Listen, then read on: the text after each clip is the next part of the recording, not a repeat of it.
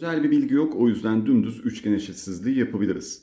Yük soldakinden bakarsak x 9 ile 1 arasında arkadaşlar. Sağdakinden bakarsak 10 ile 4 arasında. Bu ikisini de sağlaması için küçüklerin büyüğünü alıyoruz. Büyüklerin de küçüğünü alıyoruz. 4 ile 9 arasında oluyor. Haliyle 9'dan 4 çıkar 5, bir daha çıkar. 4 tane değer için sağlanır. D şıkkı. Özel bir durum yoksa iki kenarın toplamı diğer kenardan büyüktür arkadaşlar. Bu yüzden bu olduğu gibi çıkar. B artı C A'dan büyüktür. Burada da bakın B artı A büyüktür C olacağı için C eksi B artı A parantezinde çıkması gereken nedir? Eksi ile çarpılıp B artı A eksi C şeklinde çıkmalı. C'ler gitti. A'lar da gitti. 2B kaldı. B şıkkı. Şimdi burada AC arkadaşlar neyden küçüktür? AC'ye x dersek x arkadaşlar 6'dan küçük. Sonra AD'ye de y dersek y de arkadaşlar 8'den küçük.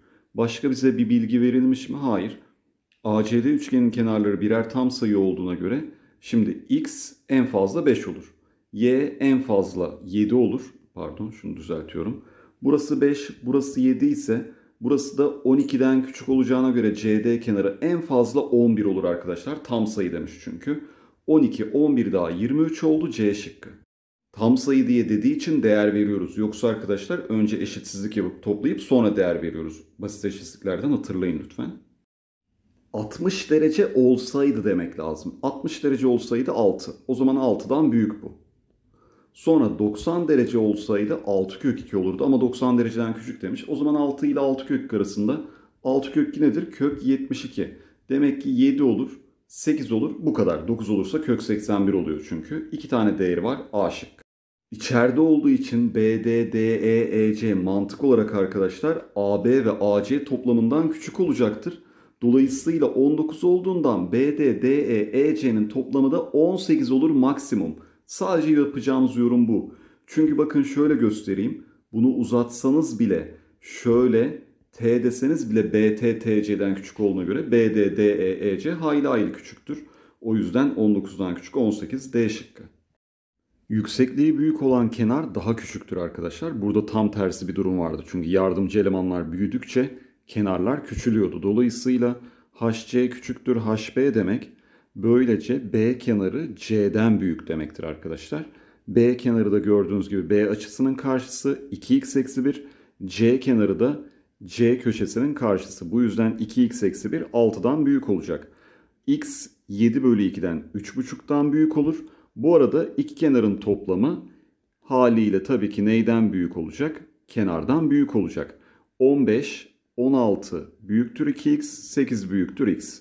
x'in alacağı değerler böylece 4, 5, 6, 7, 4 tane olur C şıkkı bölgesinde bir nokta dediğine göre bir kere 16 5 artı x'ten büyüktür. Bu yüzden 11'den küçüktür x. Aynı zamanda iki kenarın farkından da bu BDC üçgeninde büyük olacak.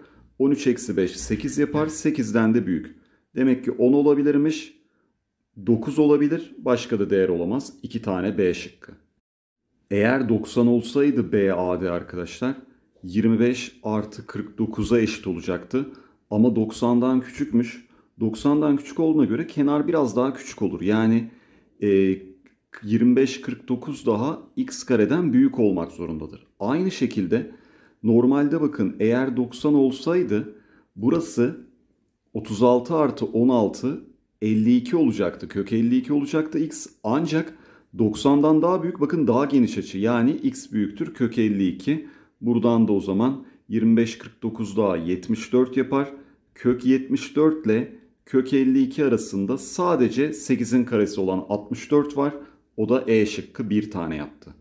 Tabana dikindirirsek şöyle bakın 3 3 olur.